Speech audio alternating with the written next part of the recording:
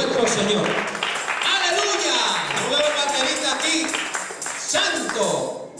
Cristo vive. ¿Eh, Jason? Y acuérdate del chofar. Gloria a Dios. Manténlo ahí porque cuando yo me emociono ahorita, me gusta el gozo, me gusta celebrar. Y número tres, ¿qué tanto permite uno diariamente la presencia de Cristo en nuestra vida? Es importante que tomemos en cuenta eso. ¿Qué tanto permite uno diariamente la presencia de Cristo en nuestra vida? Si queremos crecer. Y habíamos dicho que hay gente que solo los domingos permite la presencia de Cristo en su vida, o cada 15 días, o mensualmente. Y por eso nunca crecen espiritualmente. Entonces Dios exige de nosotros que tomemos en cuenta esos valores importantes si queremos crecer espiritualmente. Usted quiere que Dios le toque, lo hable, hable, le bendiga, lo levante, lo ayude, permita su presencia cada día. No solamente en la iglesia, sino en su casa, en el trabajo, donde quiera que vayamos. Por eso Pablo dice claramente que debemos nosotros de orar sin cesar. Y el mismo Jesús lo dijo, orar sin cesar para que no caigáis en tentación.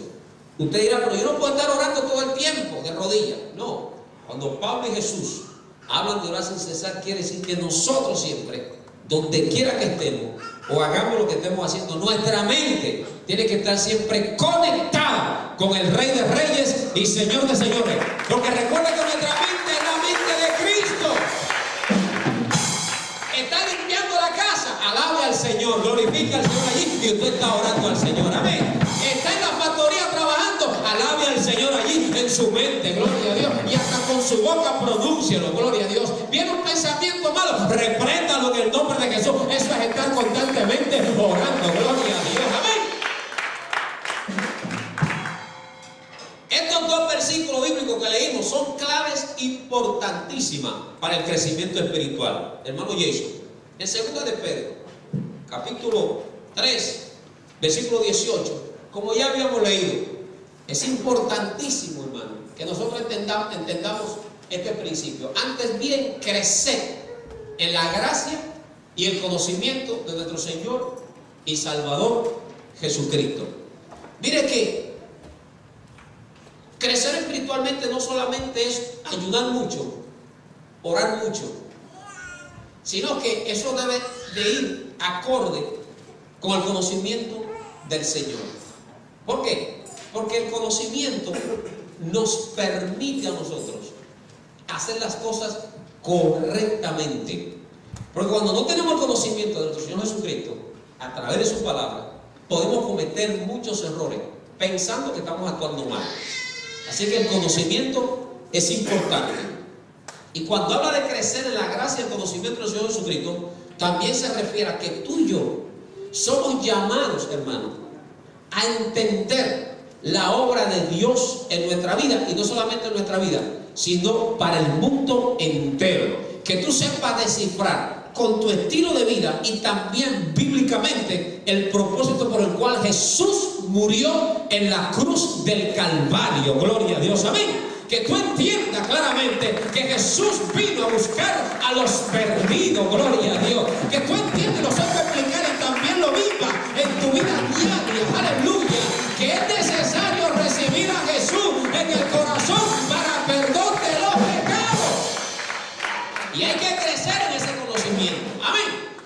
que nadie te venga a hablar de otra teoría rara o teología o herejía que no vaya de acuerdo a la bendita palabra sana de nuestro Señor y Salvador Jesucristo. Amén. Y en Filipenses, vamos a darle el pincelazo en el verso 6 del capítulo 1, que ya leímos. Es importante que nosotros entendamos. Por lo demás, hermanos, ¿eh? 6, 1, 6, o 6, 1. ¿Qué fue lo que dije? ¿Eh? Ya lo leímos ahora y eso, 1.6. Correcto. Estando persuadido de qué? ¿De qué? Que el que comenzó en vosotros la obra, ¿qué? La perfeccionará hasta el día de Jesucristo. Yo leo este versículo, hermano, y es como una buena noticia para mí. ¿Y sabe lo que me quiere decir el Señor con esto? Que Él está dispuesto a ayudarnos a que nosotros, aleluya, crezcamos en la gracia y el conocimiento de nuestro Señor Jesucristo. El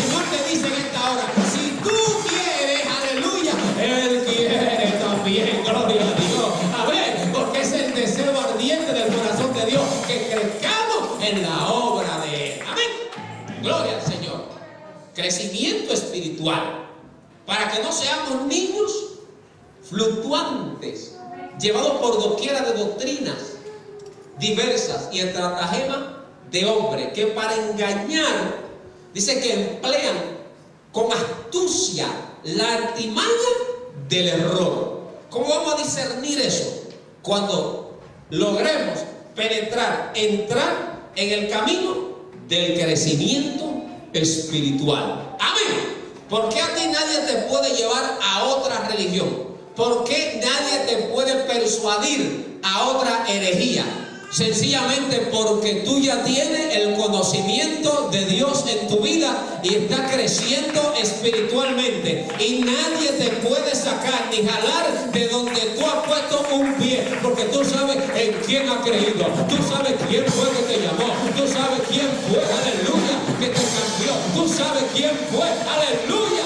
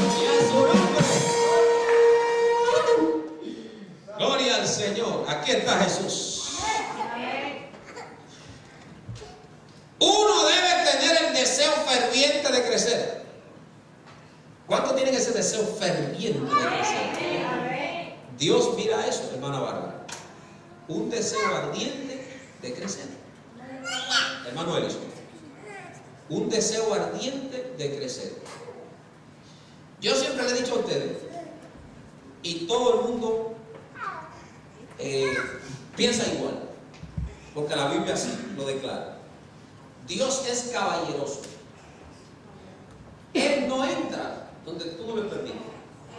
Mira que Dios más bueno y más respetuoso. Él no entra donde tú le entras. Si tú tienes un deseo ardi- ardiente de crecer, Él te ayuda a crecer. Nairobi, Él te ayuda a crecer. Si tú tienes ese deseo ardiente de crecer, porque Él lo sabe. Hermano, tiene ni que decírselo. Solamente con la actitud de tu corazón, ya Él lo sabe, porque Él lo conoce todo. Gloria a Dios. ¿Saben? Pero cuando hay un pasivismo espiritual, Dios también lo sabe. Cuando hay mo- mortandad espiritual, Dios también lo sabe. Porque Él conoce todo. ¿Qué se le puede esconder a Él? Absolutamente nada. Porque Él todo lo sabe. Amén. Él sabe la actitud que hay en nuestro corazón. Él sabe por qué estamos aquí. Él sabe por qué oramos. Él sabe por qué venimos a la iglesia. Él sabe cuál es nuestro propósito delante de Él. Amén. Pero que ese propósito y esa actitud tiene que ser sana delante de Él para que Él se glorifique en nuestra vida y nos ayude y nos dé la mano. Aleluya. Para que crezcamos espiritualmente. ¿Quién vive? Y a su nombre. En Lucas capítulo 9, versículo 23. Yo no tengo prisa. Vamos a estudiar la palabra. Lucas 9, 23. Si alguno quiere venir en pos de mí, ¿qué dice ahí? Tome su cruz cada día ahí. ¿Sabe qué quiere decir esto? eh? Negarse a sí mismo. Hermano Tony. Negarse a sí mismo. Hermana, negarse a sí mismo. ¿Sabe qué quiere decir? Que ya nosotros no nos seguimos. Que ya no importan nuestras decisiones personales. Que quien nos ciñe y nos manda a nosotros es Jesús. Y negarse a sí mismo significa que nosotros tenemos que hacer lo que Jesús manda, lo que Jesús dice en su palabra, aunque nos duela, pero ese dolor, aleluya, va a traer liberación, va a traer bendición, va a traer crecimiento espiritual. Y aunque tú te duela y que ese orgullo que a veces hay en uno y ese carácter tan fuerte y tan duro, que no nos permite humillarnos, que no nos permite hacer aquello que el Señor quiere que hagamos, nos doblegamos sobre encima de todo.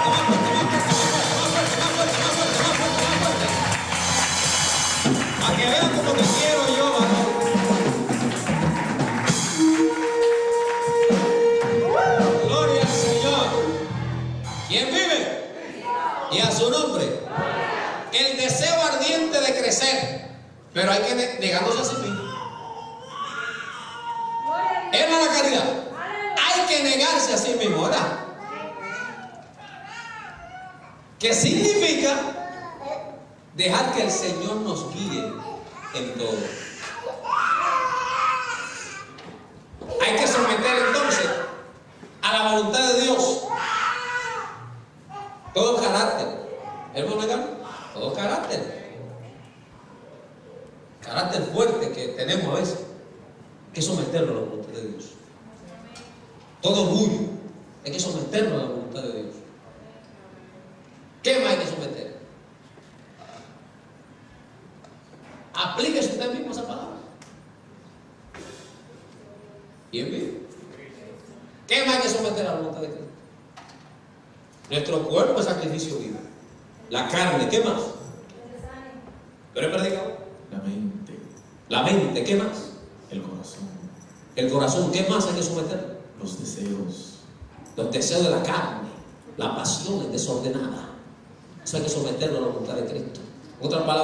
que estar dispuesto a santificarse, hay que estar dispuesto a vivir en santidad, hay que estar dispuesto, aleluya, a caminar por ese camino del Señor.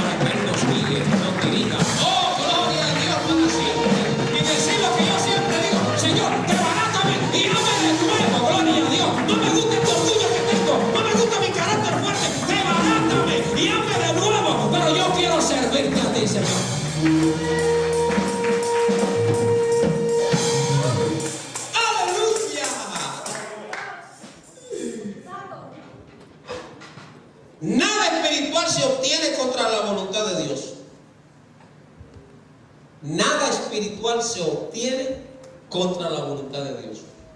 Nada. Porque Dios es espíritu. Y Jesús lo dijo claramente, que Él busca verdaderos adoradores que le adoren en espíritu y en verdad. No te dan dos frases aquí, en espíritu y en verdad. Porque hay muchos que le buscan en espíritu, pero en mentira. Por eso Jesús dice, en espíritu y en espíritu y o sea que usted podemos estar ayunando y orando mucho pero si no lo estamos haciendo en el orden verdadero de Dios para nada sirve eso. Entonces vamos a ir porque cabe aquí. Primera de Corintios capítulo 13 verso 1 para que usted vea. A veces leemos la Biblia pero no la aplicamos nuestra vida si yo hablase lenguas humanas, oye, en plural, lenguas humanas y angélicas. O sea, tiene el bautismo con el Espíritu Santo. ha sido bautizado con el poder de Dios. Oye, y no tengo qué. Y no tengo qué. Y no tengo qué. Vengo a ser como metal que resuena o címbalo que retiene. Y hermano, ¿y cómo yo sé si tengo amor o no? Usted lo sabe. Usted sabe si tiene amor o no. Porque ¿qué dice el otro versículo? Jason. Dice, si tuviese qué. O sea que si yo fuera profeta y entendiese qué. Y toda ciencia. O sea, si tuviera entendimiento de todas las cosas de Dios y tuviese toda la qué. De tal manera que trasladase los montes y no tengo amor, ¿qué? ¿Sabe qué quiere decir eso? Que aunque tengamos todos los dones, pero todos los dones, todos los dones de la vida, y no tenemos amor, porque el amor es fruto o resultado de una persona que está creciendo espiritualmente. Si no tengo ese amor en mi vida, si no manifiesto ese fruto del Espíritu en mi vida, o esa virtud del fruto del Espíritu en mi vida, aunque haga todas estas cosas para Dios, de nada me sirve, de nada me vale. No vamos a ir al cielo, no voy a ir al cielo si no tengo amor. Aleluya. Por eso es que en aquel día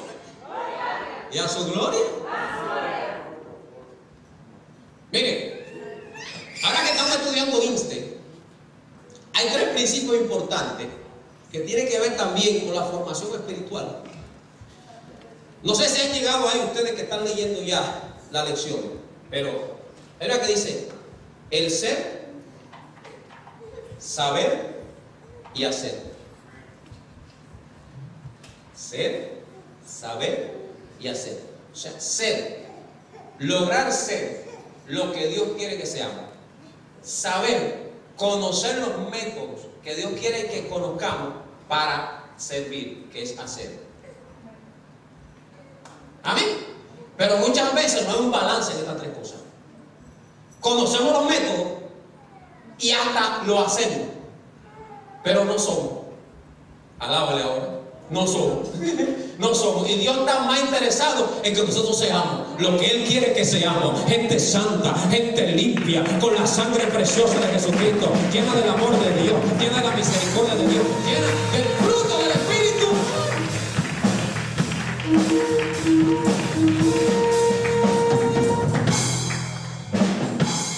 ¿Quién vive? Y a su nombre.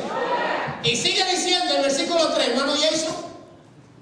¿Cuántas veces no ha leído usted esto? Mira, y si repartiese todos mis bienes para darte comer a quién? Por eso es que la monjita aquella llamada Teresa de Calcuta, por todas las obras buenas que hizo, por eso no se va a salvar, ¿no? Si no tenía Cristo en el corazón bien metido, olvídese, no se salva. Porque ve, no sé lo que estoy diciendo, es la Biblia. Amén. Debe haber un balance en lo que somos, hacemos y en lo que también conocemos. Un balance.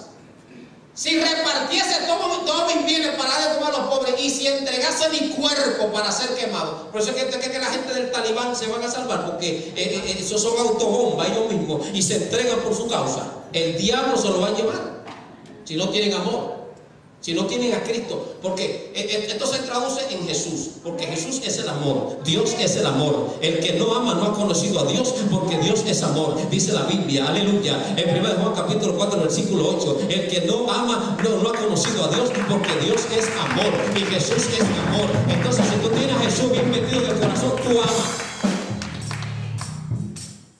Ahí está. Dale para atrás. ¿Dónde estamos? Eso me lo aprendí yo de que era católico. ¿Jason? ¿Te pegaste? ¿Te frisó? ¿Te frisó? ¿Qué pasó? Vuelve para atrás. ¿No te acuerdas de la cita? Primera de Corintios 13.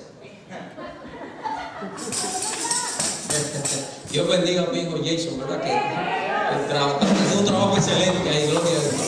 Amén. A cualquiera le pasa eso.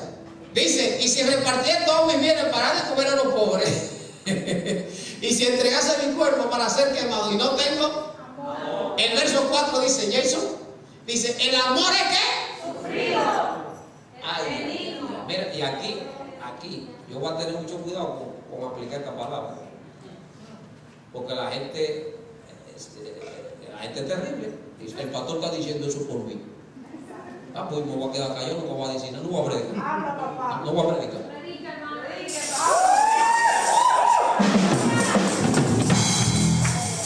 No voy a predicar. Porque si todo lo que yo digo es por una gente. ¿Y entonces? ¿Qué, qué vamos a hacer? ¿Ves? Si lo que yo estoy diciendo es por la palabra, eso no tiene reputación. Es más, lo voy a decir aunque se enojen.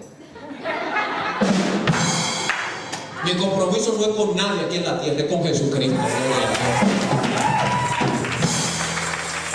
El amor es sufrido. Yo sé que se van a enojar. El que se va de esta iglesia no ama esta iglesia porque no está dispuesto a sufrir. No me estoy refiriendo a los hermanos britos, porque los, los britos se están yendo por un propósito eh, eh, aparte, para que después no malinterpreten. Porque tengo que aclarar la cosa, porque ya me han dicho que usted está predicando eso por mí, pastor. Usted dijo eso por mí. Ah, pues no vamos a predicar entonces nunca. Dice que el amor todo lo sufre. Dice que no es ni tiene envidia. Hay gente que se, que se gozan cuando una iglesia se vacía. Ese tipo no tiene amor el que hace eso. O cuando un hermano tiene un problema. Alábale ahora. Alábale ahora. Se gozan porque le está yendo mal al hermano José. ¿Eh? Se gozan porque el pastor Wilson Mateo le puso disciplina a fulanita o a fulanito. Se gozan porque fulano se descarrió. Ahí no hay amor. ¿Me entiendes? No tiene envidia. El amor no es qué? Jactancioso ni envidioso. Y no se envanece. ¿Qué quiere decir envanecerse? ¿Mm? Envanecerse es. Eso viene de vanidad. De vanidad, hermana Ruth. Eso es envanecerse. Correcto. Envanecerse, por ejemplo, hacer buenas obras para que me vean. Para que digan que yo sí soy bueno. ¿Quién vive? ¿Y a su nombre? Una hermana me escribió en estos días por email. Lo voy a decir porque esto es aplicable. Pastor, recuerde que hay una hermana que se fue de la iglesia. Y extraño a los hermanos. Llévenme en oración. Yo le contesté atrás. El que se va de una iglesia, de cualquier iglesia, sin una causa justificable, porque se fue, nunca amó esa iglesia, ni a los hermanos, ni al pastor. Entonces, me extraña que los extrañe. Si lo extraña, ven el domingo para que salude a tus hermanos si te hacen falta. Alábale ahora. Pero te llevaré en oración. No sé quién eres, porque no me está diciendo quién eres, un anónimo. Entonces, como quiera, yo te voy a orar por ti, porque yo siempre oro hasta por mis enemigos. Y como tú eres anónima, o anónimo, como se dice, ah, una mujer fuese. Entonces, yo te voy a llevar en oración como quiera. Aunque tú le des un aplauso a Cristo, es así.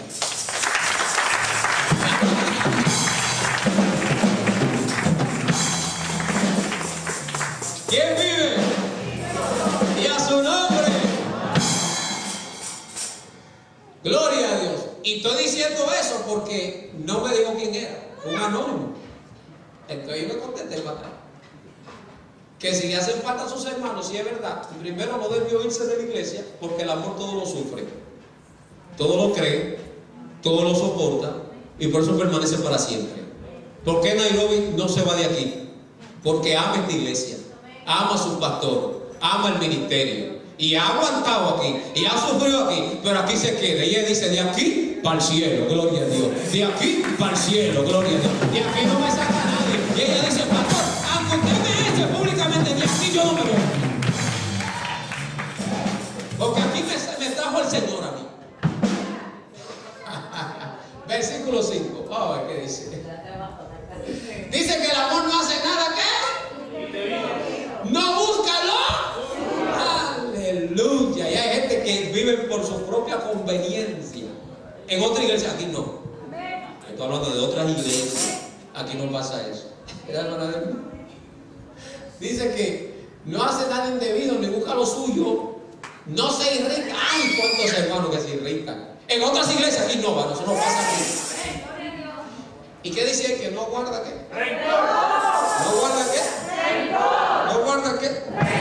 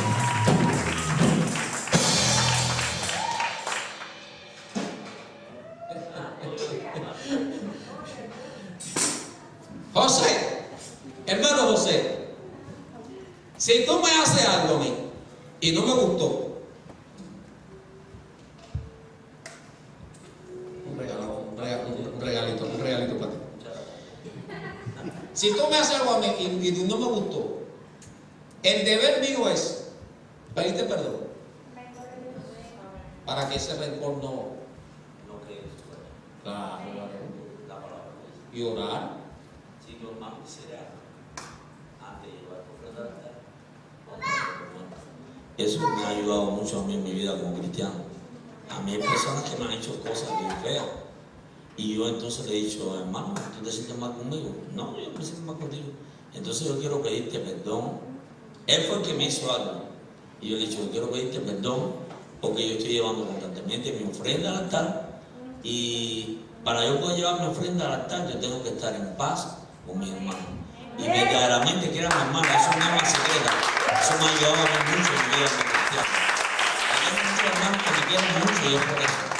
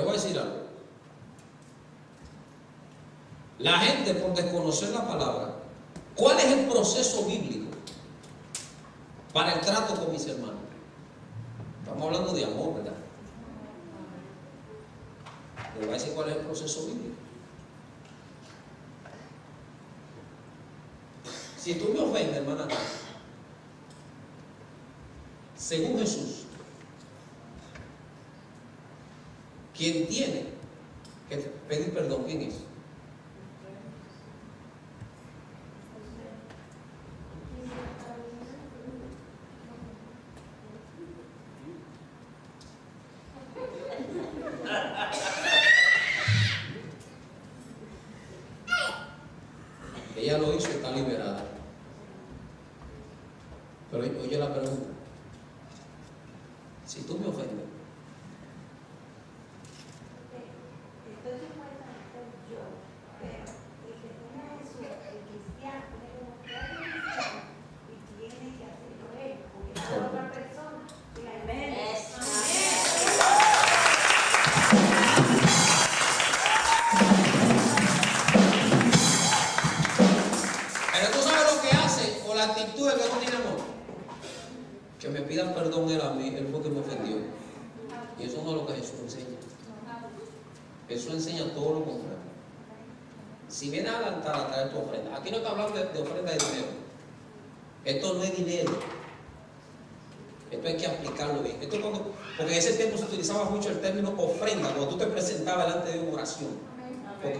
presentas con cuerpo, alma y espíritu, tú estás presentando a Dios como ofrenda, en olor grato. Por eso es que Romano lo dice claramente, capítulo 12, presentad vuestro cuerpo en sacrificio vivo y agradable a Dios, que es vuestro culto racional. Se está refiriendo a esa ofrenda, a traerte delante de Dios, a presentarte delante de Dios. Entonces Jesús dice, si vienes al altar a traer tu ofrenda, o sea, a traerte tú mismo, a orar, a buscar de Dios, ¿ah? y te acuerdas que alguien tenía algo contra ti, no tú contra esa persona. Nótese que tú no tienes nada contra esa persona. Pero te acordaste que alguien se molestó contigo. O tiene algo contra ti. Dice, no presente nada ahí delante de Dios. Primero ve y reconcíliate con tu hermano. Entonces pídele perdón. Y cuando haya pasado eso, tú vienes y te presentas libremente delante del Señor. Porque Él añade ahí mismo. Porque si perdonamos vuestras ofensas, oféndanos, ofensa a nosotros mismos, también nuestro Dios nos perdonará a nosotros.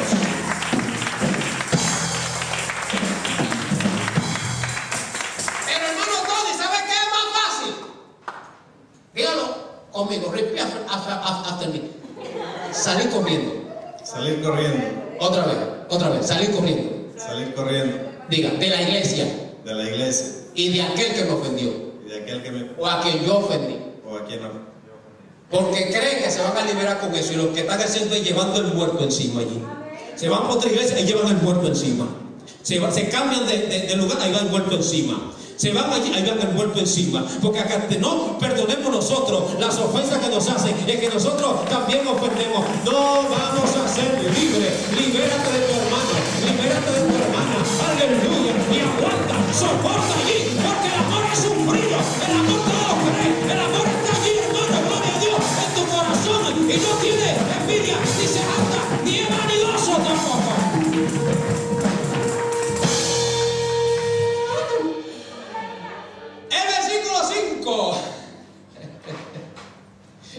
El Yo me estoy gozando con las palabras, hermano. El versículo 6, ¿qué dice hermano Jason? Aleluya. No se goza de la. Más se goza de la. Aleluya. Está bueno que le pase, está bueno que le pase. Porque.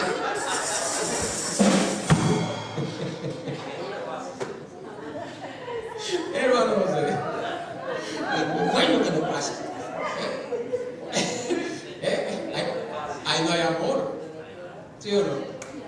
¿Eh? Se goza de la verdad. De la verdad. Se goza de la verdad. Hermano Yeyo, sigue. Todo lo que. Es más fácil salir huyendo. Más fácil. Pero con el muerto arriba. Tirando luego de la partida, suelta ese muerto. Otra vez, suelta ese muerto. Porque el muerto se te va a pudrir, dile, dile, muerto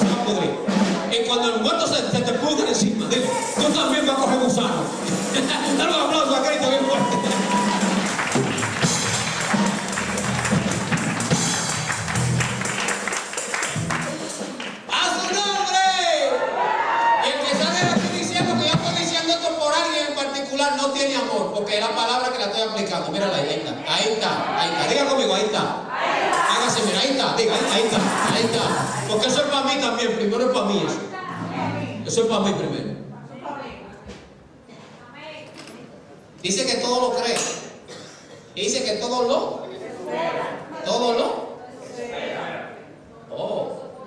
sea, pero todo lo espera. Si Dios te dijo que te iba a bendecir a ti, ¿y qué desesperación que tú tienes de irte? Hermano, eso es normal a cualquiera le dan ganas de salir huyendo. ¿Usted cree que mí me va a pasar por la mente? Oiga, o- o- oiga, porque mente divaga mucho. Para que usted vea que esto es mí también. No estoy diciendo por nadie. Me va a pasar por la mente. Oye, con lo que yo sé hacer, canto, predico, tengo muchas relaciones internacionales, que yo nada más voy, hago actividades y gano mucho dinero. Dios me bendice con mucho dinero. Y estoy yo aquí sufriendo con cuatro cabezones. Cualquiera se va y le deja esto a alguien aquí. Pero viene el Espíritu Santo, sí, porque eso viene a la mente. Pero viene el Espíritu Santo, mira. Y yo no te llamé. Es verdad que yo te bendigo por allá, pero ahorita yo no quiero que tú estés eso. Yo quiero que tú estés atendiendo mi iglesia, mi rebaño, mis ovejas. Esos cuatro cabezones que tú dices que son cabezones, y yo te los puse a ti. Y yo los compré a precio de sangre. Y tú mismo eres un cabezón de esos cuatro que están ahí también. Dale un aplauso a Jesús.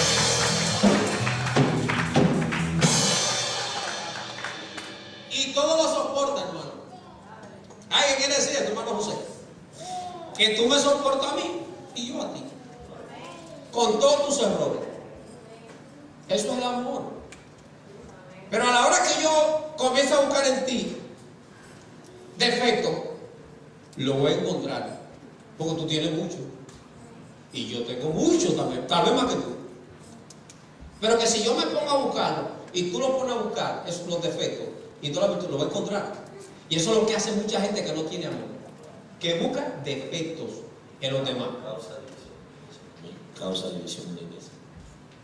Causa división.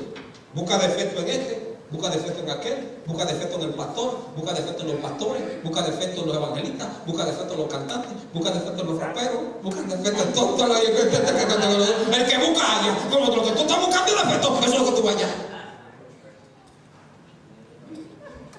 Pero cuando tú busques virtudes, cuando tú busques virtudes en los demás, entonces tú estás actuando con verdad. O cuando tú ves un defecto del hermano Tony, antes de tú juzgarlo, tú dices, no, pero el hermano tiene esta virtud y esta y esta y esta, yo no voy a jugar por eso a él. No, no, no, voy a orar por él para que Dios lo ayude y lo cambie. Es un asunto de carácter y de formación, nada más que el Señor, la obra que empezó en él la va a terminar, gloria a Dios, amén. Así es que actúan los verdaderos hombres de Dios, las verdaderas mujeres de Dios, y no salen corriendo.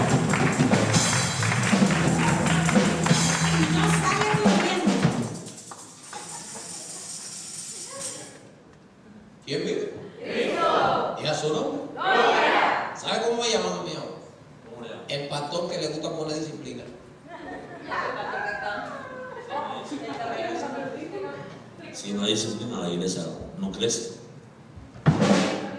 Porque a mí no me gusta el relajo y el juego. Aunque me quede con tres gatos, pero esos tres gatos vamos, a, formar mil gatos, gloria a Dios. Pero mil gatos no.